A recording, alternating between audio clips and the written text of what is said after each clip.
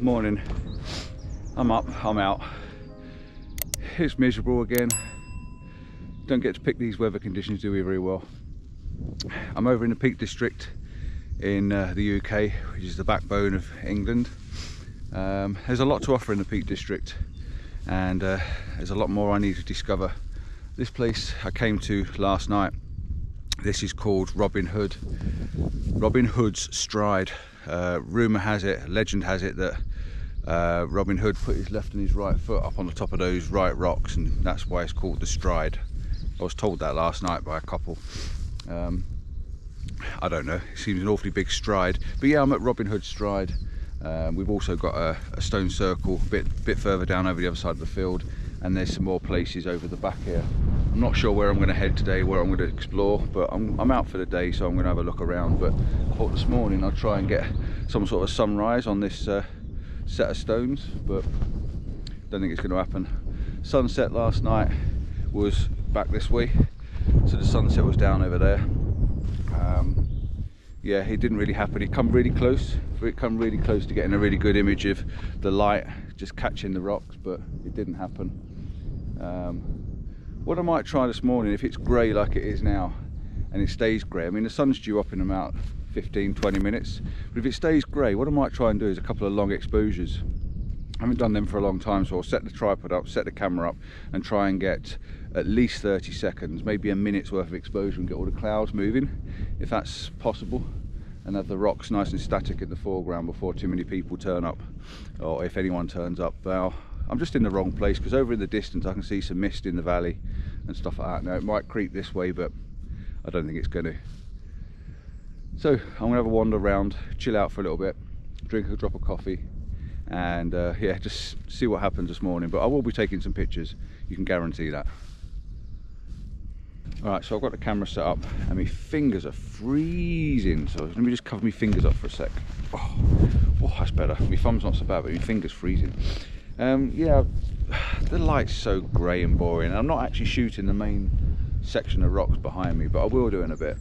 Um, what I've got set up at the moment is a 13 second exposure and uh, I'm just going to check it and see what it came out like because I want to get some movement in the clouds. It's not quite enough. I'm f11 so I'm going to go up to f16 that should slow it right down. That gives me 25 seconds so we'll do the same thing again. Now I've had to balance the composition a bit or I had to move the composition a little bit just to make it work for kind of what I was looking at. If the camera was too high I was getting too much of the hillside in the background and not enough sky. If the camera was too low then the rocks all the rocks were pointing out into the sky so I decided to go for something in between the two sort of an intermediate so I'm shooting straight on at the rocks and they're the rocks I'm shooting. I've got this nice leading line from this um, white rock at the bottom corner with all the white um, lichens or whatever the patterns are on it and then you've got the two rocks sticking up in front of me and I think it works right. It'll probably end up a black and white quite possibly a monochrome image uh, I think. So let's have a look see what that looks like at 25 seconds. Uh, we've got movement in the clouds. Yeah we're getting some movement in the clouds now which is quite nice. Yeah we're getting some streaks and that's what I wanted to try and do. I wanted to try and get some sort of movement some streaks coming across because it's very grey and the sky's coming towards us but hey ho you can't have everything can you?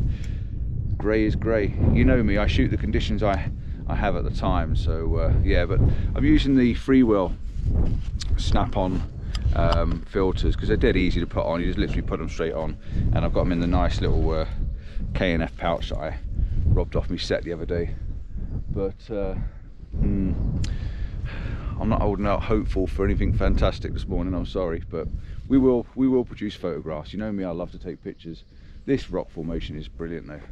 And lots of people have carved their names in it in different places. Rock climbers use this I suppose practicing because it's quite small. The rock at the top is just fantastic. I will show you that. I have a little slight clip of it in my last messed up video. The last video was right wishy-washy. It was all over the place but still that's me. Come on let's find something else. Let's find another image. Uh, so f16 this one bit of a monochrome I think with some streaks in the sky it'll do for a start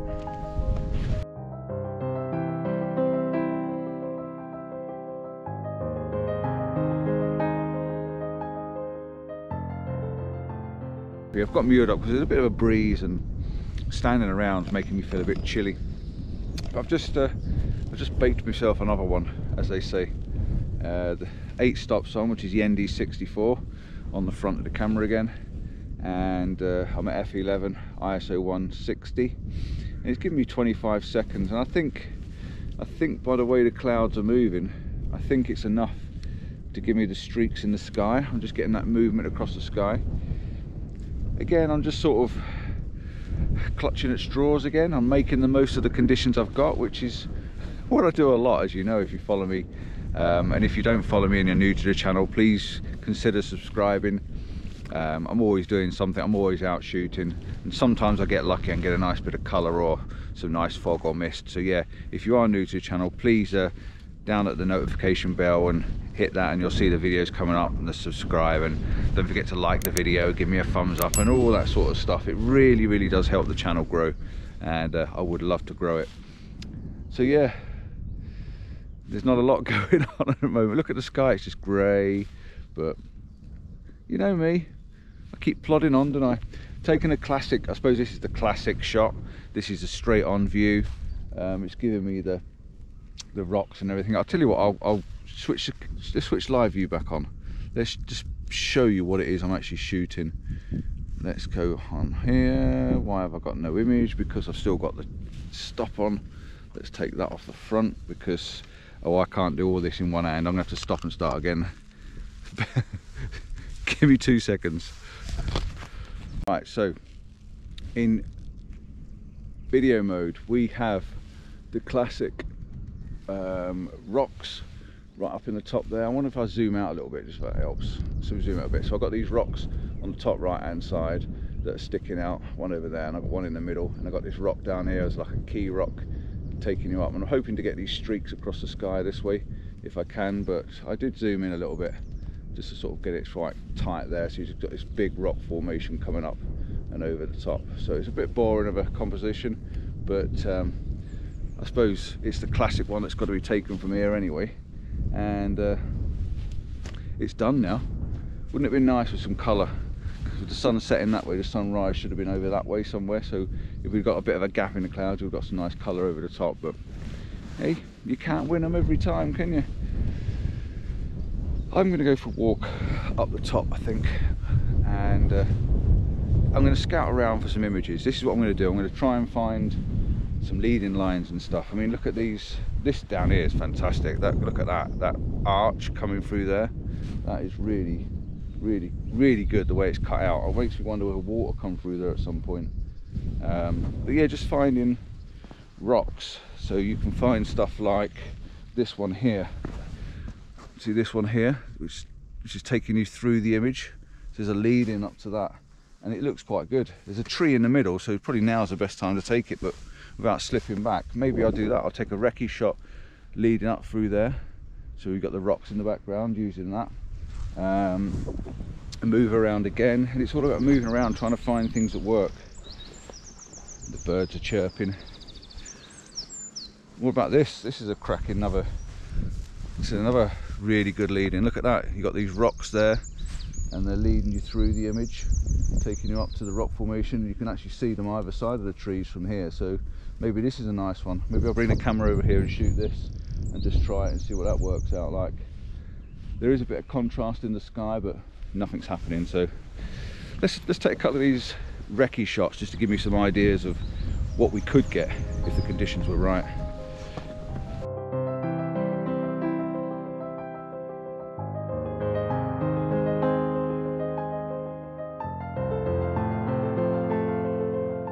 so for number two like I said I come over we've done we? Walked over we saw these rocks taking you up to the image. So again that's what I've done. You see there I've used the rocks down the bottom there to try and take you through into the rocks in the background. So we've got this nice little section of rocks taking you up that way. But what I also did because I like this bit at the bottom and I can't get it in on the frame on the camera I took an image there and I've also tilted the camera down and took an image there. So hopefully if you can stitch these together, you should be able to get these rocks in the bottom there as that image and then that image taken there and put the two together and you'll have these rocks leading you all the way up to the top there. What I'm to do now though, I'm going to fit the camera around onto a horizontal, onto a vertical, sorry, and have it in a portrait shape if you like and uh, I should be able to get all this foreground and the rocks in the background but by the time I'm being wide all the time it's making the rocks look really small but what I do like is a little tiny gap just there and you'll see it in the photographs. And I like to move the camera just a few inches across just to get the biggest of that tiny little gap in between the rocks which to me makes it quite important.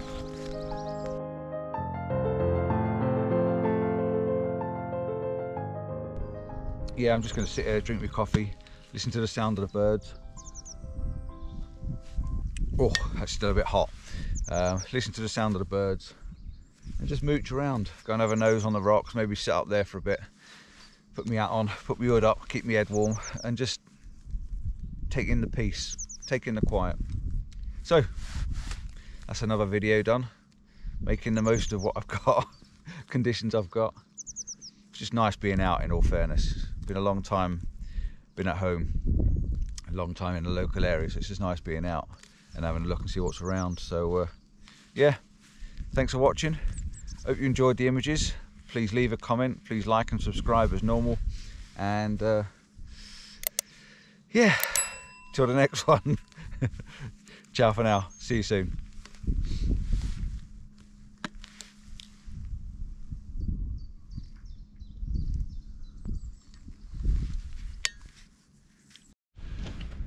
I've done this so, so many times where I've turned the camera off and I've switched it back on again. And you know that because the video is a lot longer than you think it is, isn't it?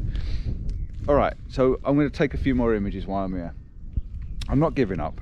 I'm not stopping. I am. Did I, I did say I was going to walk around and try and find some ideas and stuff like that. Well, look at this for an idea. Look at that tree. I do not know how that manages to grow and hang on to those rocks like it does but it's definitely got grasp of them rocks it's definitely holding on tight but it's sticking out and it's got this massive big boulder now I've took a selfie with me and I'm going to put that up on the corner of the screen. Look at that for a selfie. The tiny little me underneath that great big massive boulder that's just sitting on the edge there. But yeah I like that. If, imagine a fantastic sky in the background. Just look at the image. Look at that. You've got stone circle down there in that bottom corner right down there just down there. You've got this massive big boulder on the right hand side and the tree sitting there on the rule of third line bang on the third intersection and then if you had this beautiful sky over here it'd be fantastic. But we haven't got the beautiful sky. But it doesn't mean to say it's not going to make a nice photograph. So take it. The only thing wrong with it is there's a farm down at the bottom but because it's on a tree line you can soon clone that out. But yeah what a fantastic shot. So i'm going to take a couple more and if I don't talk I'm just going to stick them up for you enjoy the last few images and I will say goodbye and I'll see you another time. Ciao